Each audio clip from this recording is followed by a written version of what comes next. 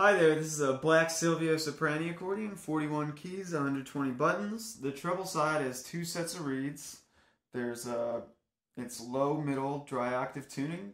The master setting sounds like this. The clarinet setting for the solo middle reed sounds like this. The bass side has four sets of reeds. It sounds like this. Play you something so you can hear what it sounds like.